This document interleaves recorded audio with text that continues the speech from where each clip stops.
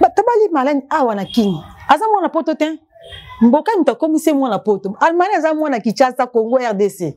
ebanza london tv akanga mpenza mwana na biso doki avegla ye tosala nyonso tofungola mwana biso mema mwana biso baza koyoka te totikala nyonso kona maboko ya nzambe nzambe esala kaka mais malade qui se poli eh? qui se poli makasi Na bengo malai na peso ba gaz. Lebanza London TV. Chaque 0 m maman na likaka libumu. Lebanza London TV. Est-ce que oyebi ke malai na iba mikanda ba ya mama nyoso. Oh. Bana mama zonga mama zonga so poto te mikanda ezala te malai na zo mikanda na tumba. Oh. Lebanza London TV. Na minute okumbuka damu da tongo etani pour abinda na mulangi wana. Lebanza London TV. Comme ni malai te hein. Comme ni Aniba Bouton. Eh, comme ni Marlène te Marlène wana aye eh, eh, aye kosala yango ntango abalani na, na, na, na star ebanza london tv nyonso maa politicien olingi wana toyebi na biso papa toboya mama toyebi na biso nabona yango ntanga komona bona nanga nakende mwana na ngai aza moke bakanga ngai na prison na boyi oh, eh, alingi politicien ya biso ya awa Libanza London TV. civil bango moko ni famille na biso ni noko ya, ya mbokani ni mama ya mbokani ni yaya ya mbokani ni biso bandeko ya mbokani ni biso baleki bandeko ni nyonso mutu te azala na feti wana apa kaka marlene na mama na ye Libanza London TV abalana na mboka na bala marlin c'est grâce à paulin donc paulin azalaki mokala ya, ya, ya, ya marlin paulin moto ayaka abetaka cop donc babala marlin na cop Libanza London TV. Diepa alingaka mpe na bulu teke akomi se mwasi ya ndako akomi lelo te. Diepa alingaka kaka bete kaka bale. Libanza London TV. Pin na portail bo afungoli portail tomoni boye Marlène akota na Die na bano. Oh, Die aye kini biso kuba ndeko nde toyebi teke aye kini. Libanza London TV. alasi mpenza abombaki manzaka kua tomonaki mpenza ke wi o oh, mwasi o oh, atala moto abatama likolo na mayele Libanza London TV. Ntango malani banda kota libala so obengi mbokani mbokani mpo abengi boswa na liba bozala matanga. Libanza London TV.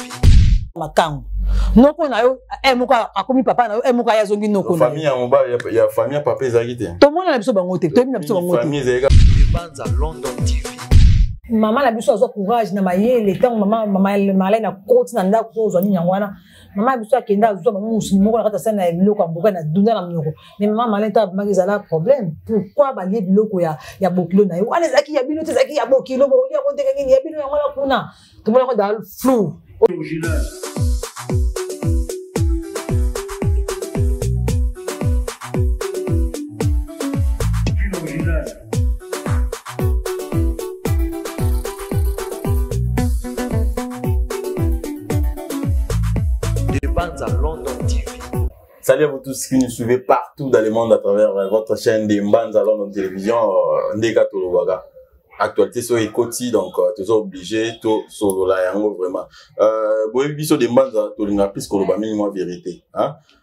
euh, affaire euh, Marlène na bien merci Mbokani. Donc euh, bomoni yango ndenge ezoleka tout ça. Alors tolingaki te to to loba ngo likolo likolo. Donc euh, ndebi boyebi te tosalaka toujours so likambo eza faut tokita plus côté ya famille côté ya, euh, ya famille vraiment tosolola na bango mpona masolo ya internet to masolo ya libanda ya momu na moto akozala ke non ayebi vérité te mais azobeta kaka oyo ezoyela ye na motu donc yango wana toyaki mpe na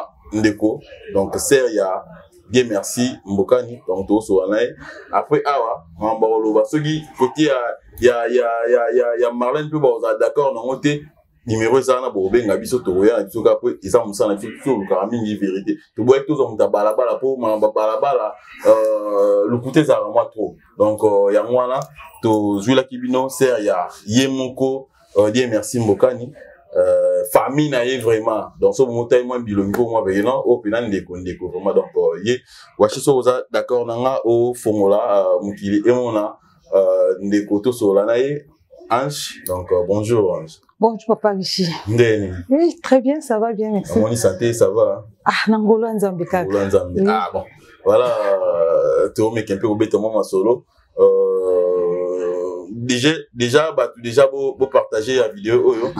tolobaka rien que la vérité hein? toloba rien que la vérité opromete oh, nga mpe ke non olobaka rien que la vérité rien que la vérité donc mpo biso olingaka mpo okosa wana onini en tout cas tolinga yango te eh, nadi nzamba ah, ah, voilà okosaka te mpo eh, soki nakosi nga mpe soki nasala mamba lokuta en tout cas nana bato balandaka nga en tout cas fidèlement lokola banadi nzamba wana ah. euh, esalaka mwa bien te donc depuis une originale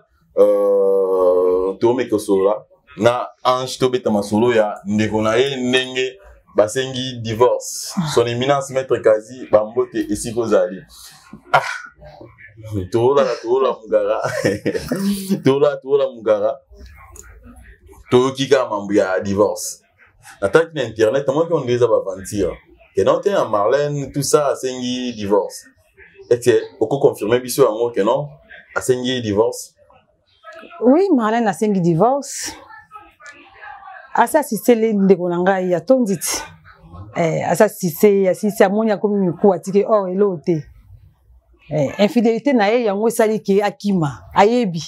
eh, ebandi mambo ebandi mambo ya nini ya sikoyo na minute oyo um, baza ensemble kaka baza ensemble te yesa mikimeli na ye ayebi makambo asali yango akimi bien avant uh, baza na bana combien bana bana mibale bana bana mibale actuellement bana baza aconfiske bana na mito papa ya bango azomona bana te abombi bana bongo bana bango moko réaction na bango na eza na ndenge donc jusque là bana bayebi histoire oyo te donc makambo nde ekomi ti na niveau na bainternet oyo ti ezoleka boye mama azokosa kaka bana ke papa aza na voyage or oh, mama ayebi ti makambo osala bana bayebi eloko te donc bana na mingi oyo bayebi te baza au courant ya eloko te euh, na mekana kozonga mpe mwa mokie euh, marlène ere abali na die merci bakosala déjà combien d'année marlène na dieu merci babalani comme ni marlène te hein comme ni ani ba bouton eh, comme ni marlène te marlène wana aye eh, eh, aye kosala yango ntango abalani na, na, na, na star Ah, comment est penza ye moko ayebi place aza wana ayebi comment eza ani ba bouton et non Marlène non ba, ba eh. bouton comment mutu ba azalaka elongino otala ngo deux fois te eza surnom de ba surnom te ani comment eza ani eh okay, ani prénom na eza ani hmm. donc so pas so qui na quartier botuka ani ba bouton ayebi que eza Marlène eh biso to sali que comme wana le sala Marlène wana bobala ye awa na kini mbe bobala na babala na poto batabali Marlène awa na kini aza mwana poto te mboka moto akomi se mwana poto allemagne aza mwana kinshasa congo rdc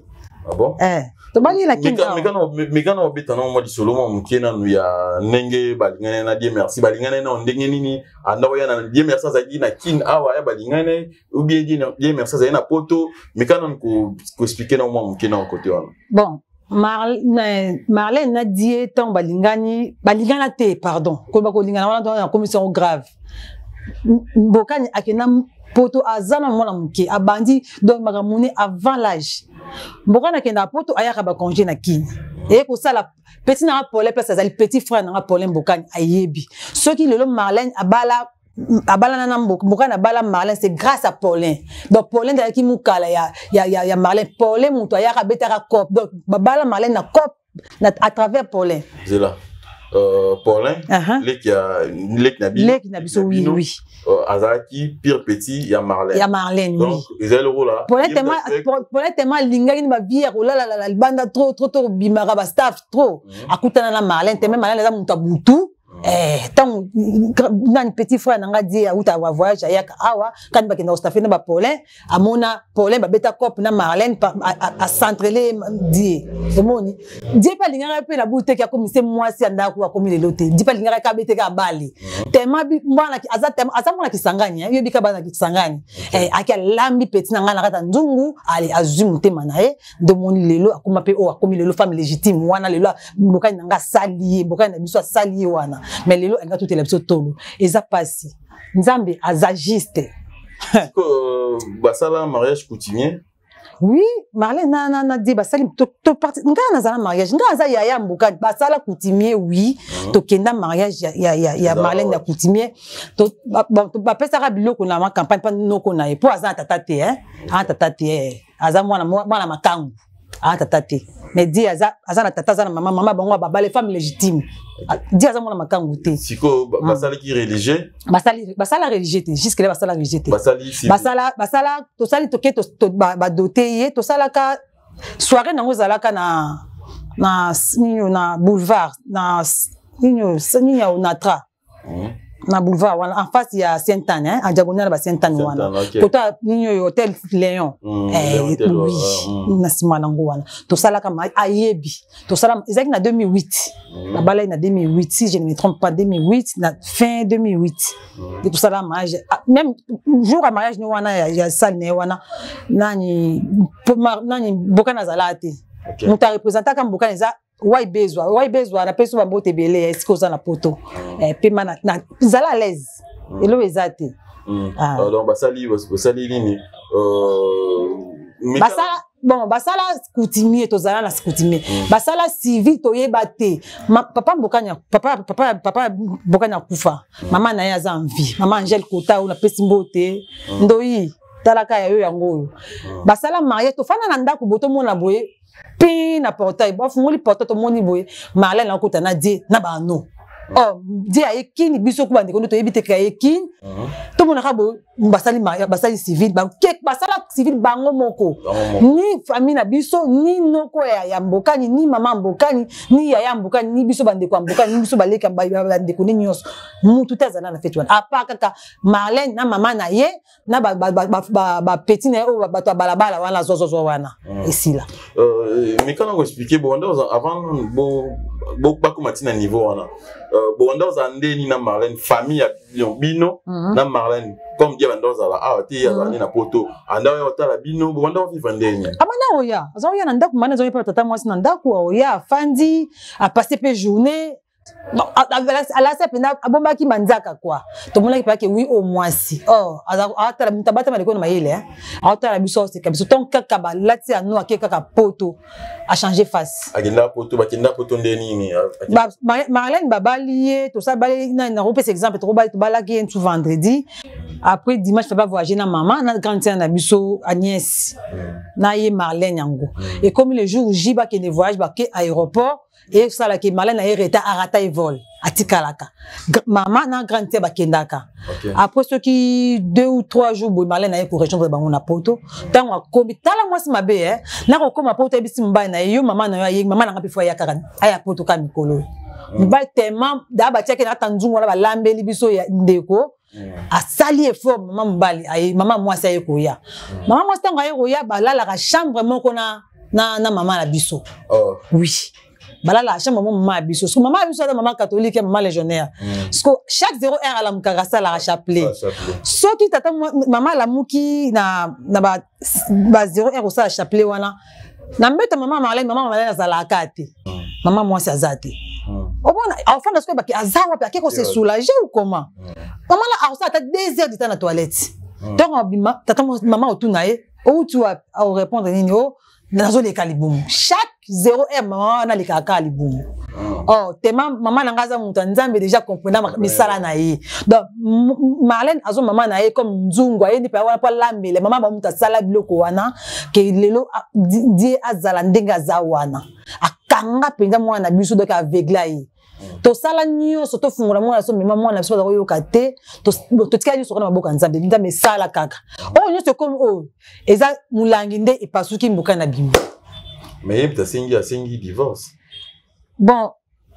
ndeko na ngai asengi divorce te eh. marlene tasengi divorce parce que ayebi infidélité asali amonaki ya kuku ebimi dana na pwasa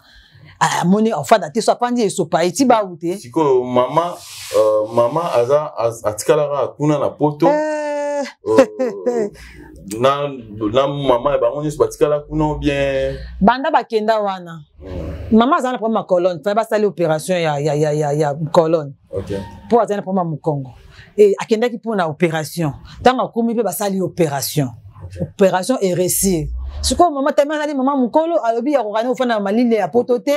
ole azela deuxième rendez-vous azonga ye na kin soki deuxième rendez-vous na ekoki bongo akende est ce oyebi ke malali ayiba mikanda ya mama nyonso oh. bana mama azonga mama azonga so poto te mikanda ezala te malali azwa mikanda na tumba oh. oui mais mama mama malali nde toba boti lelo azalaka banda bakenda na 2008 wana ti lelo mama nakenda kwenda vutuka malene asista famille mobima bakenda poto akoma kozwa na bana quartier bapeti ya mibali na ye ya kala kala kala ya bamibali abimala bango wana soki kaka esprit ebeti kasi mpo aza moto ya bolingo alingaka bilingalinga ambwa naloba eh, azala bongo soki aye alingi ayebi ke ana ah, manam jo oyo anazwa ah, nanga petit nina tinela poto azwaka na bato ya balabala me bango poto me biso ah. na poto tozalaka to 4 kaka 4 seulement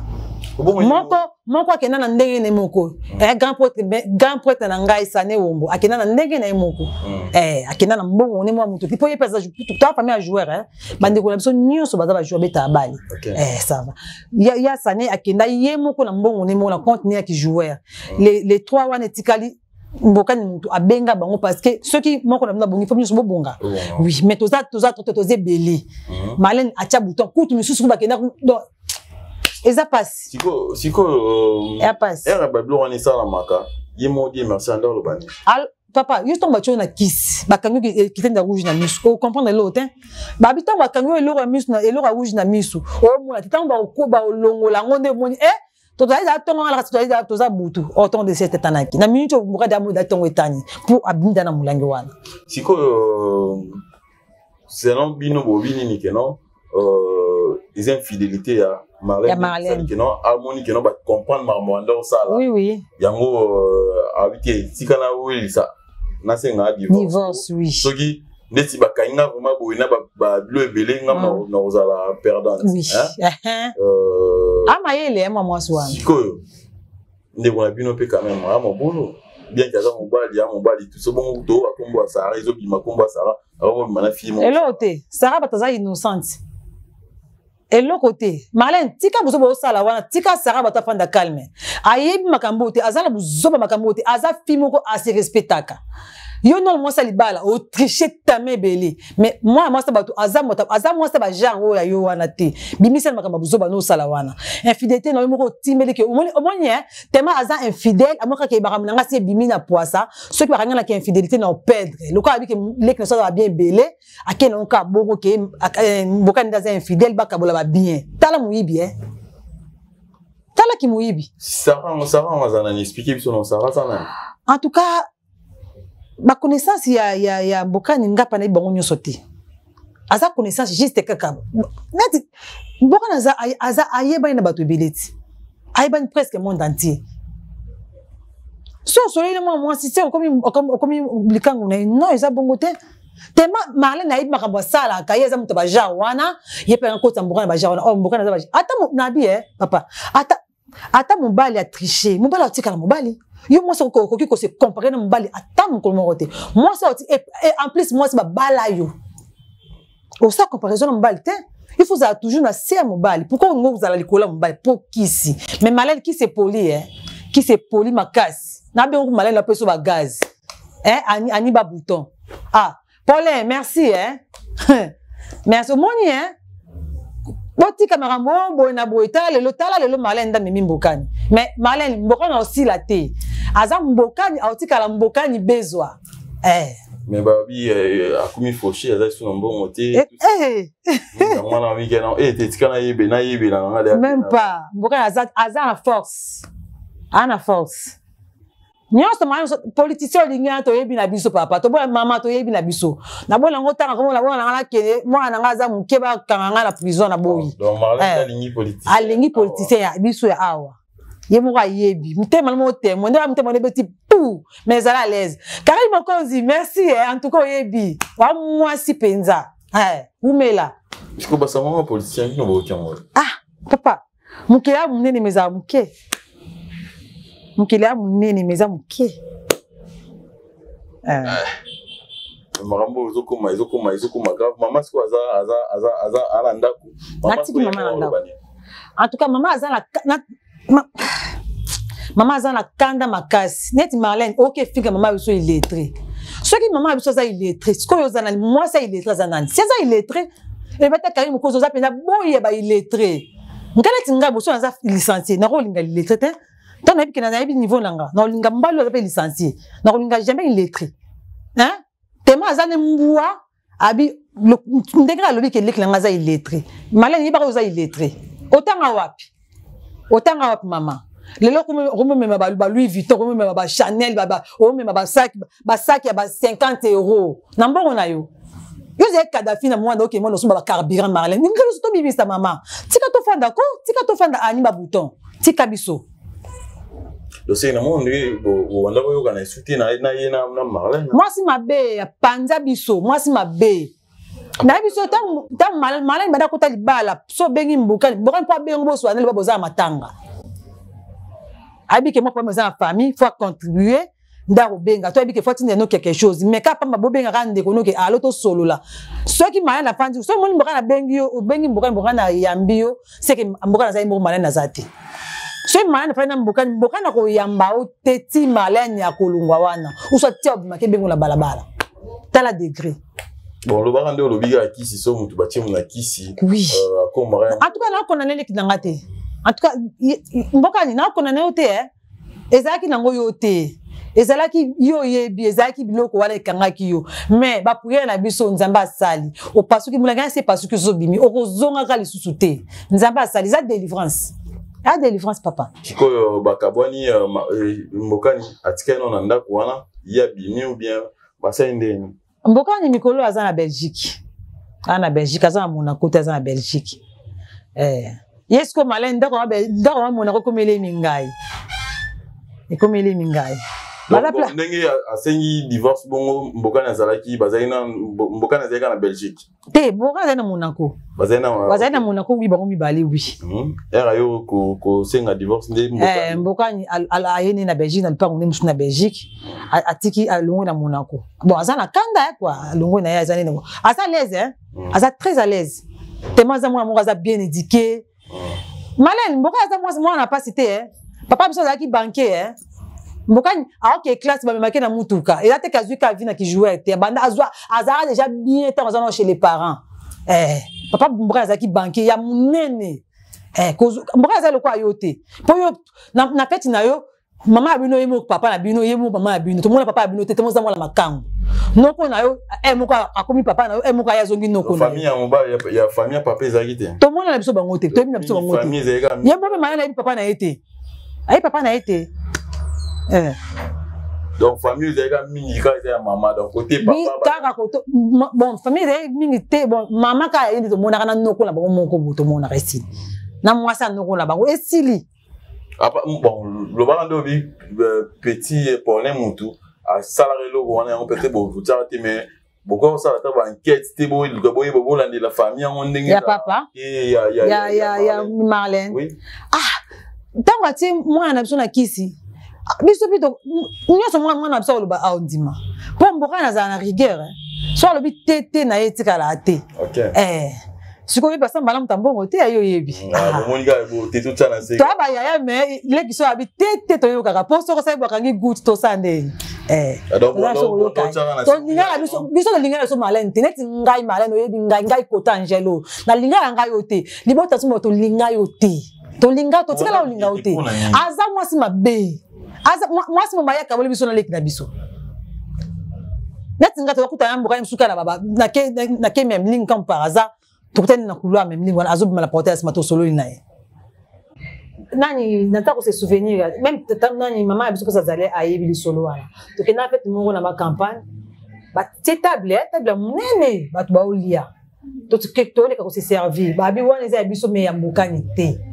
mbokani babemisela nde bakibakuli kuna na, na, na, na cuisine baye na yango uniquement mbokani biso tobisa bigo olia yango nano bongo te biso tolia yango abi te oyo eza ya ye ya bino eza kuna mais mama na biso azwa courage na mayele ntango mama malai na koti na ndako ozwa nini yango wana mama ya biso akenda azwa bango mosuni moko na kati asali na biloko ya mboka na dunda na mnyoko mais mama malin to abimaki ezala problème pourquoi balie biloko ya, ya bokilo na ye wana ezalaki ya bino te ezalaki ya bokilo bokolia yango ndenge nini ya bino yango na kuna tomona yango ezala flou ozomona comment se fait-il biloko est ce que bakulu moko na yango aliaka ndenge nyonso ya biloko wana aza ko se souvenir mpe su na poto ntango mama azalaki na poto na mama ya marlene aye ya poto moko mosusu na ntango mama marlene abinga lelo nalambela bokilo na ngai lituma lokola aza moto akisangani kua asala lituma na ya bokilo na ngai uniquement bokilo na ngai asala lituma asala soki na musuni so mbisa mai boye aservi na table mboka na utaka traitement ye kokota mboka na koti mama signale mboka na mboka mboka na biloko wana kolia yango te mm. namoni yango da mystique abodi yango baolia na mwasi na yo mm. leki mpe azwi je ntango avandi ayese malani malani vie va manger ensemble malani areponda mboka niki abi naza na nzala te nasi nalela ngai natondi nde mbongo apesi mama mama boki mama kasi tolia te o te papa biloko azalaki ya yo moko ayesi mama mama ya biso boya tolia te o te wana ya mama te mama biso ya biso eza na biso wana ezaka ya yo moko mboka nalia biloko te mboka na te atika biloko wana biloko wana ebwakama soki moto abi olia biloko wana bapesa bato mosusu baolia na bango mama azali mposa olia yango kumeli mama bobika kaka ye moto aolia yango aliaka biloko wana te parce que na tokomprenaka déjà ntango mama azongi ne kin nde batika kolia ese sikoyo ya makasi bazakala ha banini tu me kisi epoli nango epoli mpenza angele oso naza mpe naza na mbongo lelo naomona jamais leka mobali na ngai oleka nazango ka nde ka aza malene aza wana nazango mpesa leka mobali na ngai ata 10 dollar futa transport nakoka te mpo na opesa na yo dollars te ata 100 dollars na opesa te so na banda fona banda na ba 500 tema na ozwa yango ebele fona kaba mpe mpo eya mais marlene ata okutani apesa moto ata 1000 franc congolais ayebi soki ake naza na mbongo te olanda oh. naa na mbongo te ah, basemi bopike ah, mais oyebi yango balobaka pike no bandeko ya mibali balingaka basi bandeko eloo te babesere toza na besere ebele ezaka marlene te ye aza likolo parceke mobali na ye aza na niveau ayebana kua marlene ayebi aza na bambanda na ye mwasi ya bolozi azali mimi mwasi ya wai azali mwasi ya ngenzo azali mami azali toza na bagracia te kitoko donc semer a trouble kaka marlene kaka ye semer a trouble mwasi moko mabe suka donc euh, na osenga soki ozongi euh, osenga esu mpo ya mama soki mhm. moyen ezali tomeka mpe kosala kosola na ye moko mpe mama nanu euh, eza problème te comme ça toyeba esu davantage ye moko mokolo mwana soki azoloba nini eh, heure ozalaki na heure ye moko ayokaki nde baofinga ye esalaki na mama esalaki ye mpasi makasi neti marlene kofinga mama te marlene tala nsima te totya tozonga na 2007 2008 marlene yo moto ofinga ofinga mama kota hein marlene tozala bato ko yaya ingratitude ntina niveau pourquoi mama hein nazongisami yango tata mama pourquoi ingratitude ntina niveau oyo mama botoli yo mobali oyo asali eloko ma marlene ozali so lelo fale ayemi ote grâce ya mbokani bamisi bajour ebele estce basalela basi nango banzembo nde mbokani ayembi afuti mpo bayembi marlene baza ebele te mokili ya mabe marlene oza ingrate Eh, oya ingrat kani olobaki ya yo oza na mbongo biso toza na mbongo te tofingi tolobi mabe okangisa biso ngai aza prete okangisa ngai marlene ngai naza prete ngai naza kota oyoki ngai naa kota nayeli yo soki oza makasi kita kini so okangisi ngai kaka mobali kaka mbokani wa moto abimisa ngai nasiki naa na confiance na ye jamais kotala ngai mpe ndeko nene nasufi na pusu abimisa ngai mpo ngai ti baofinga baofinga na kangai motema ta bafingi kaka mama na ngai yango osalaki ngai naleka awa malin keba aboti bana mwa bana na ye mpe aza mwasi ya balabala te aboti batata ebele te aboti bana nyonso na tata moko aza lokola mama bino aboti bino bapapa papa ebelebe te aboti biso kaka mama moko papa moko sikoyo omona tete non politicien aza awa na congo politicien yango mpe euh, aza moto baza na baza eh, omwa te kino euh, so bakangi yo awa eh, bato kutu baza bato bala bato minene baokanga bango ayeke mais la loi existe non eh, loi ezalaka baka nde président abige non il faut to atelemisa justice na biso ah. peut-être yango wana nde eh, na, na, na, na ministre ya défense na biso euh, plutôt ministre ya, ya justice na biso constant mutamba en tout cas en tout cas ba félicitations ebele tokendeka kaka ndenge wana eh. ndenge wana ata na ministre yango papa ministre wana oyo oh, olingi marlène yebaka marlène Hey, tala ku mobali ahonora ye me tala eloko abeti ye bongo yo kutu epai na ye aza likango abeti eloko nini aya mpe kaka kosise yo parce que oza na pouvoir aya kosise yo ntango osisi esili okepa motu mosusu ye yanga se compare na amida male loko se compare na amida te amida a toujours likolo fana na yo euh, tokende presque na suka déjà euh, je pense que tokende tokokutana na mama topromettre bino tokutana na mama euh, tomeke mpe kosolola na ye euh, nayebi te soki mwa liloba moko mpe par rapport ya, ya émission oyo soki eza kozala ya suka nde tolobaka par rapport ya émission oyo okopesa message nini na bato bazofinga bien merci mbokani okoloba bango nini euh, bato nyonso totika bango na blog na bo kotanga bakombo na bango Ah. bato tu euh, bato finga okolo papa bango ba finga ba bomba ba kombo te ba mi bimisa ti pourquoi ko bomba bango eza malamu te so moto abimi alose mabe fo ko dévoiler ou bomba ye pourquoi mm. bato ba finga nayebi ke nakamwe bino e eh. likoya 500 euro malai napesi bino ba 500 euro 500 euro boyei kosambwisa komba mokani bosala eloko te bosali na bino eloko te mai boyeba la vérité finira par triomphe oyo nyonso bosala wana marlene okoluka mbokani okofukama makambo mbokani mais eza déjà trop tard babino wana bapesi bino bambongo marlene aleki apesi bino ba 500 euro 500 euro wana bozwi botelemisi matoi booloba mabe nakoma mbokani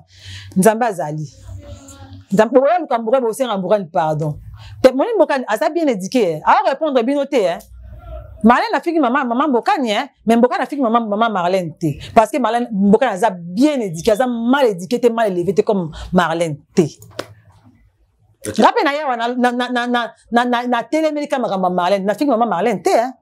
eh, nafingi te nalobi kaka na yo marlene parce que ofingi mama ngai so ofingi mama na ngai ngai na ofinga yo na ofingo soin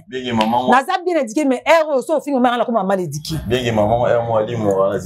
eh, mama alimwaka mama afiki te balobi kaka vérité eh. Eh, na douche mama na chambre alimwaka apodele te mama abimi outa ye wapi mama papa diare yango andeni chaque minute akokenda kaka toilette lekaka kaka diare d'accord c'est eh. moi des dédicaces na bato balandi biso ah. napesi mbote na ngai mingi surtout na die merci mbokani mon petit frère propre vraiment sans napesi yo mbote ebie esika ozali grand prote denis konzengra atalaka yo madebele umela ah ouais le guide marina laba eh, makambo yango yango oyo eh, eh, jamais totala motu moko aza ta sens te mwa celele moko afinga ndeko na so totala ye na miso jamais il faut to réagir toza ebele malelo yo ozokoki wana na famille te biso so totelemi yo oza te sambelaka na po opesa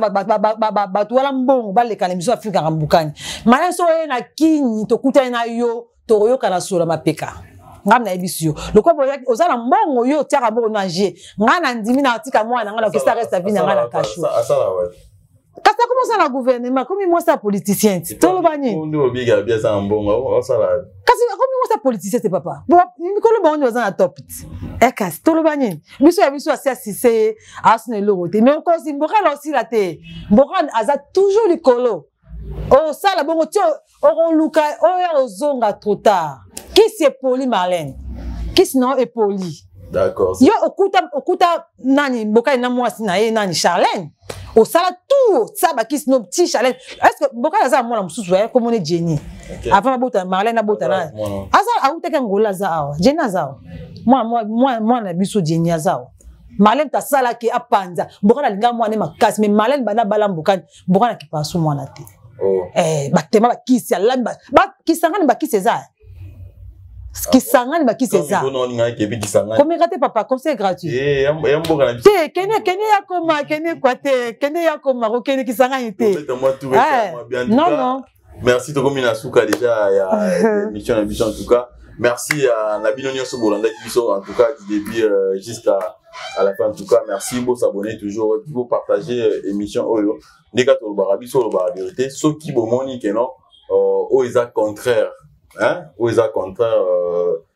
euh, neti toza na parti pris pardon papa richi na kati yo te eh? mm. naza eh? mm. eh, ngai nazali so tomoni mabe moko ekoti nazali oh, eh, nazali naza nalemba na ngai tere naza na ngai